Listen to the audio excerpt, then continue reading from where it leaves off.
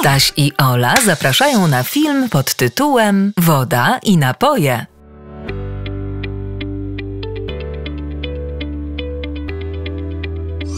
Wiesz, że w człowieku jest bardzo dużo wody? Woda stanowi podstawowy składnik wszystkich komórek organizmu człowieka. Bez wody nie ma życia. Przekonajmy się dlaczego. Organizm człowieka nie potrafi przechowywać tego składnika na zapas, dlatego należy regularnie pić wodę.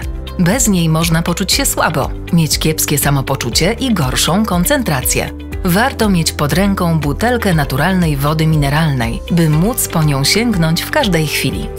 To najzdrowszy napój gaszący pragnienie. Może być źródlana, mineralna, niegazowana i gazowana. Dzieci powinny wypijać około 1,5 litra wody dziennie, czyli przynajmniej 6 szklanek.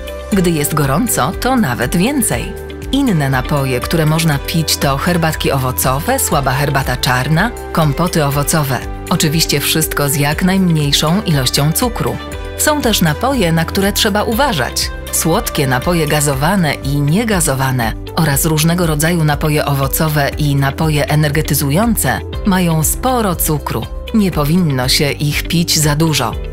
Smak czystej wody można urozmaicić, dodając do niej cząstki różnych owoców świeżych w sezonie, mrożonych poza sezonem, listki świeżych ziół, sok wyciśnięty z cytryny lub pomarańczy, a nawet plasterki ogórka.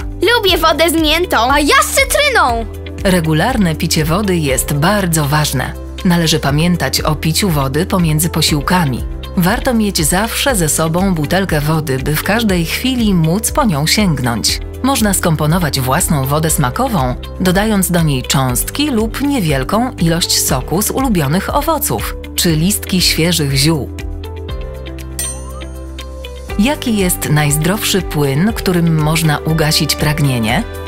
Które napoje mogą zawierać duże ilości cukru?